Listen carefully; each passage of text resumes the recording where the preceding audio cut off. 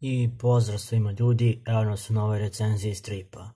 Danas ćemo se malo vratiti starim Dilanima, tako da sam rešio da se pozabavim epizodom e, Tunel strave, 22. broj e, u originalu i možete epizodu naći osim u ovoj ovom izdanju od Veslog četvrtka, možete naći u ediciji Ludens Extra i Dnevnik e, pod nazivom Tunel užasa. Kao što vidite i sami, ja ovu priču posjedujem u ovoj osmoj knjizi biblioteke Dylan Dog od Veselog četvrtka zajedno sa epizodama Tajanstveno ostrovo i Ručičasti zečevi ubijaju.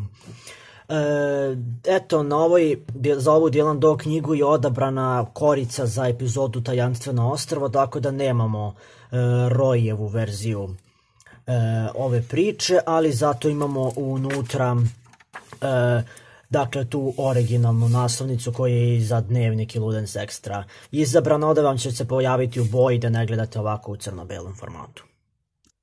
Priču je naravno uradio uh, otac Dilana Doga Tiziano Sklavi, a za crtež su se pobrinuli Montanari i Grasani. Kao što vidite, ova epizoda se nalazi u tom po mnogima najboljem periodu Dilana Doga, dakle tih prvih 100-150 brojeva. Jedna poprilično stara priča, ali moram reći da meni ona spada u e, slabije u odnosu na ceo ovaj opus. Početak stripa je stvarno odličan, jako vas prikuje e, za strip. Pratimo mladića pod imenom Klinta, Kala, Klinta Kalahana, koji krade mitraljez iz oružarnice svog oca.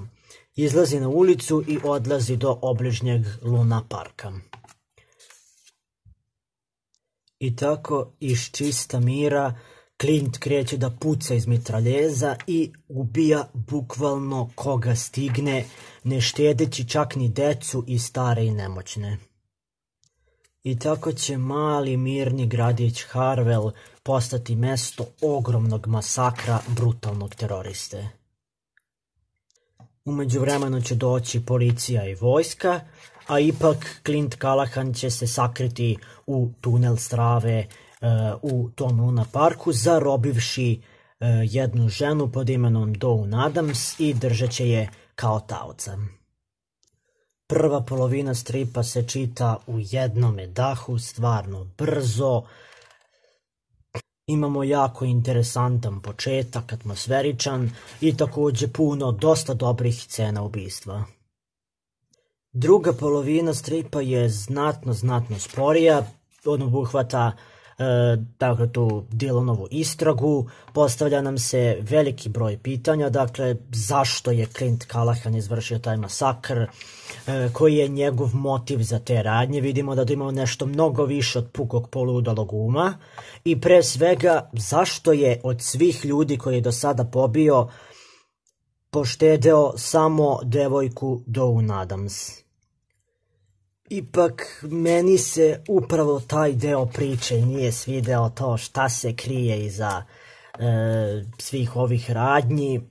E, dakle, ta cela priča oko tog kloniranja, neću vam ja spojati naravno šta se iza svega krije, ali cela, to pri, cela ta priča mi je delovala dosta neubedljivo, tu se vidi očigledna inspiracija iz um, romana Ire Levina e, Momci iz Brazila. Jedno lepo delo, ali mi se nekako nije baš uklopilo ovu priču, nije mi to to. Tačno se lepo vidi šta je Sklavi hteo da nam pokaže celom tom pričom, dakle ta e, njegova teorija da 100% određuje čoveka upravo taj neki genetski kod, da tu nema nikakve sudbine ili nešto slično, takođe i da mi nasleđujemo e, grehove svojih predaka i da su u suštini oni krivi za sve naše radnje. To je jako lepo, to mi se sviđa, ali mislim da je to isto moglo da se pokaže i na dosta drugačiji, odnosno bolji način. Ponavljam, cela ta priča oko kloniranja mi se i baš nije dopela. Međutim, kraj stripa je ipak, moram reći, stvarno odličan. Imamo taj neki veliki twist na kraju, tako da stvarno lepa završnica.